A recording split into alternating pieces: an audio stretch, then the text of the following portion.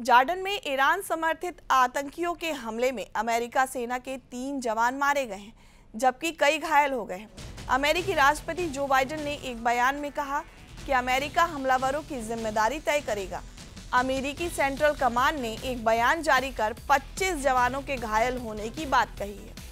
राष्ट्रपति बाइडन ने ईरान समर्थित लड़ाकों के हमलों की बात कही, लेकिन इसके लिए किसी खास समूह का नाम नहीं लिया।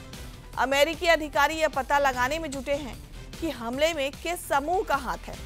अमेरिकी सैनिक पर हमले के लिए ईरान समर्थित समूहों को जिम्मेदार ठहराते हुए बाइडेन ने कहा कि फ़िलहाल हम हमले की जानकारी जुटा रहे हैं और हमारा मानना है कि सीरिया और इराक में सक्रिय ईरान समर्थित आतंकवादी समूहों ने इस हमले को अंजाम दिया है। व्हाइट हाउस से जारी बयान में बाइडेन ने कहा कि अमेरिका आतंकवाद से लड़ने की अपनी प्रतिबद्धता को आगे बढ़ाएगा।